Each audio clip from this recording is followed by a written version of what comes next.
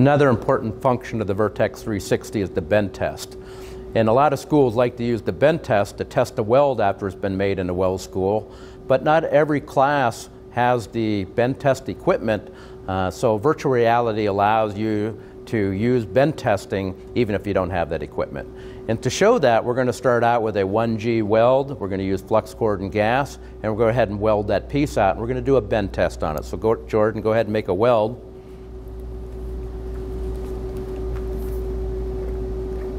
And I'm putting these different cues on here. I've got the aim cue, the stick out cue, and also his travel angle and work angle cue. Uh,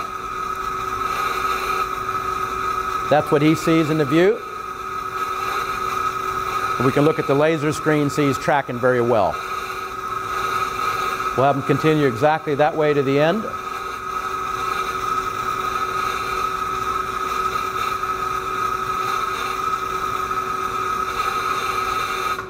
That looked like a pretty good weld. So we're going to take and clean that. We're going to score it.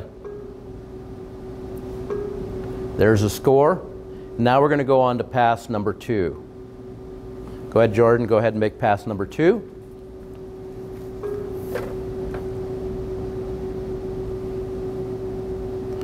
And we're going to go ahead and fill that plate on up.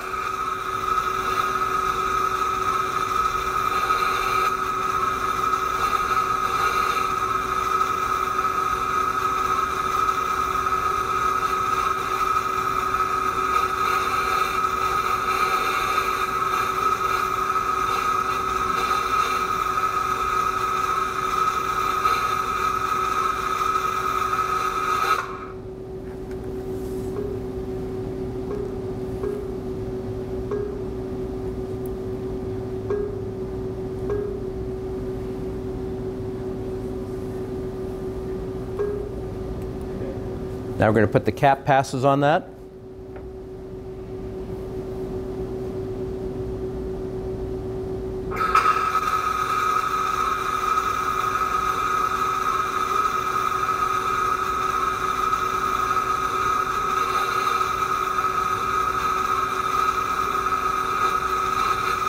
I'm going to have Jordan go ahead and long arc that on purpose. Go ahead and pull along, contact the work distance. I want to put porosity on the surface of that weld on purpose to find out if the bend test is going to catch that.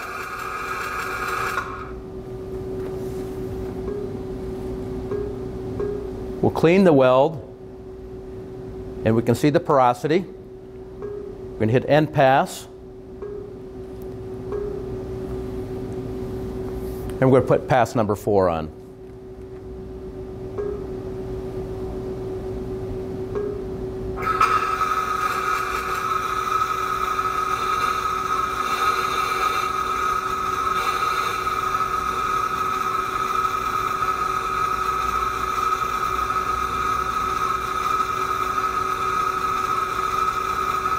Go ahead, Jordan. I want you to long arc that again all the way to the end of the weld to make sure we get porosity on the surface.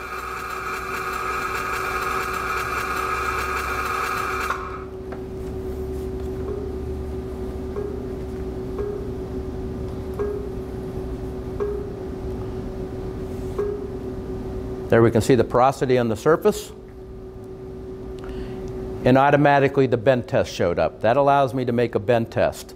So we're going to come over and we have the ability to make both a root and face bend, and we can make that in two positions, position A and position B. So we'll start out in the bend test. There's position A on the root bend. We'll go ahead and bend that. Looks just like a regular bender in the shop. Let's see how we did. We didn't see any problems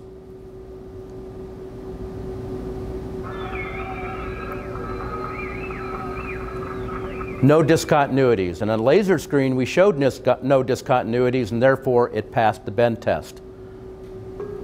We can come over, and now we can do the root bend on position B. And again, we saw no discontinuities. Let's bend that.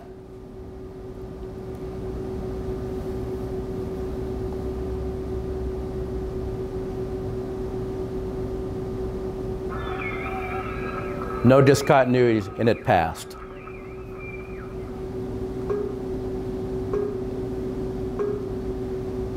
Now what we're going to do is we're going to try the face bend. Come over here, we're going to go to the face bend in position A. That showed no discontinuities. Let's see how that one does.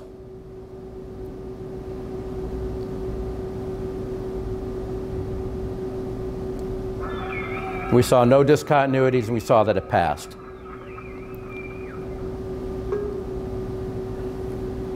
But let's check B on the face. We know we had porosity in the face. Let's see if the bend test picked up that discontinuity. And you can see after the bend test, you saw where it picked up the porosity, it had lack of fusion, and had porosity, and the piece failed. So the benefit of this is we're able to use virtual reality to do the bend test and a root uh, a root bend and a face bend in the same position, which you can't do in regular welding. And it teaches the student the consequence of their bad welds. Uh, they can analyze where the defects were so they can take and correct that. And when they can pass their bend test in virtual reality and get rid of those discontinuities consistently, they're ready to go out to the weld shop make their welds out there and take their bend tests. And our studies have shown, uh, the Iowa State study, the independent study showed that when students learned in virtual reality in the 1G position and they went to the shop, they actually passed their 1G test. In fact, every single one of the students who passed in virtual reality passed in the weld shop. So we know this function works. We think you'll find it very valuable in your training.